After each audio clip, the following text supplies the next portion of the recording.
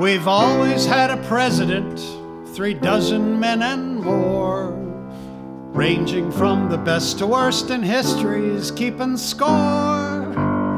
A few are monumental and others hard to name.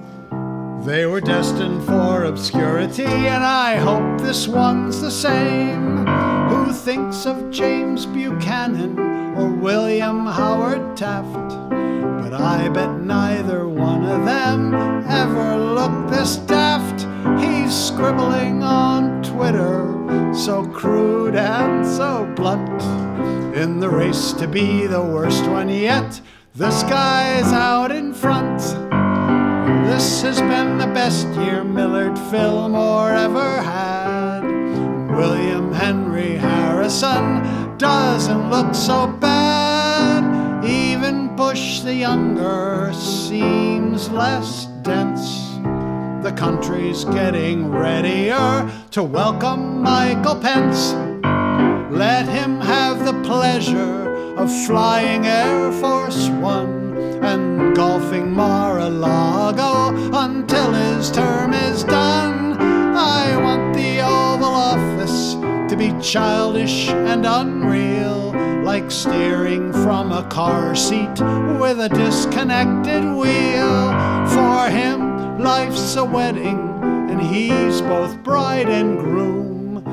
We need contributions from the grown ups in the room. Leaking to the press is a new trick in our bag, and bureaucratic gridlock gets a new stripe on the flag because this has been the best year Millard Fillmore ever had.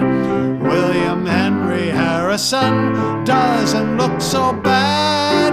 Even Bush the younger seems less dense. The country's getting readier to welcome Michael Pence. I never thought I'd say this, and I'm sorry that it's true. But the future of America depends on me and you.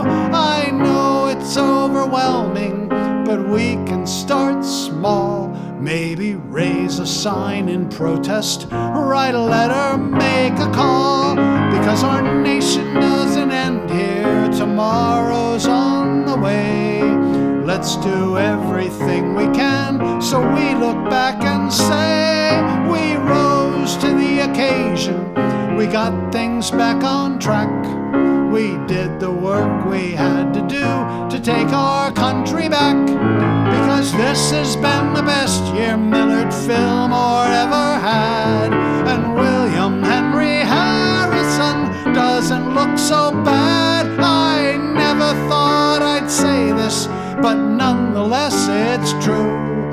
Future of America depends on me